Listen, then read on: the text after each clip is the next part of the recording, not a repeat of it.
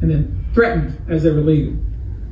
So in addition to Sean Combs, you should know the defendants in these cases we're going to file will include anyone, of course, who engaged in the assault or exploitation, anyone who participated in such in any way, anyone who encouraged or facilitated this conduct, anyone who was in the room and watched it happen but made no effort to stop it, any venue or venue owner who was aware of what was going on but failed to stop it, any individual or entity who knew about the conduct and benefited from it but did nothing to report it or stop it, and any individual or entity who covered it up or helped cover it up.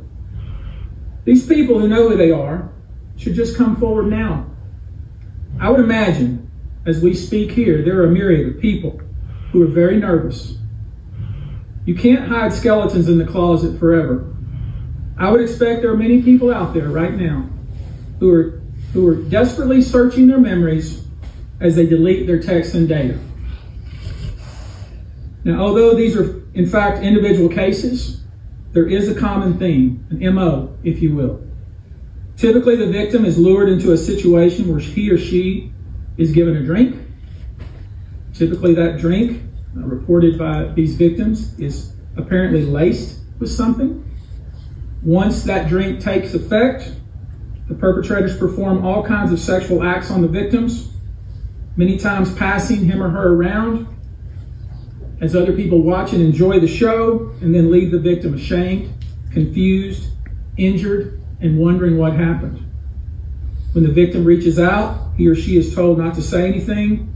Sometimes there are threats of physical violence or financial repercussions or bodily harm.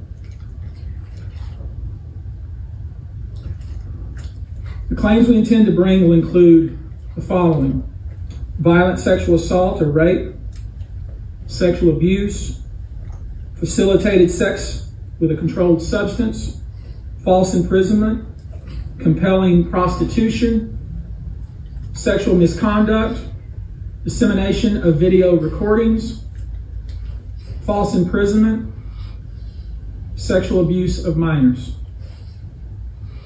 Given a large volume of cases and given our other docket obligations, and given the fact that we want to be sure when we file these cases that they are fully vetted, I expect we'll start filing these cases against Sean Combs and other perpetrators within the next 30 days. Now, it's rare, you know, sexual abuse, sexual exploitation, and then threatened as they were leaving. So in